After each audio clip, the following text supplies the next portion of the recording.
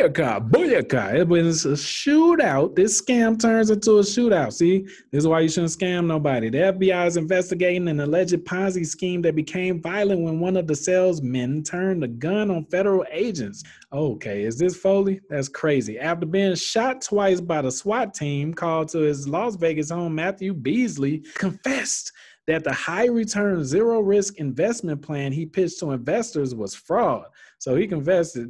Right, like he confessed to it. All right. So investors, the majority of them Mormons, were solicited to help finance a company that made short-term loans to people awaiting payouts from settled personal injury lawsuits. Man, crafty counsel. Wise to do evil, like the Bible say. They claim payouts were 12.5% a year and not a single loan of the over 16,000 in six plus years had gone bad. Nate Anderson, founder of the Hindenburg research firm that uncovered the fraud through a citizen sting operation, called it the most obvious Ponzi scheme we've ever seen. Well, that means like all of those people fell into it. So it says getting money from your home. Okay, with property values at historic highs, it's not a bad time to consider ways to tap into your home equity, said Alexis Leah but you got to do it safely. If you're looking to do home renovations that could upgrade the value of your home, opening a home equity line can be prudent. It may feel scary to borrow against the equity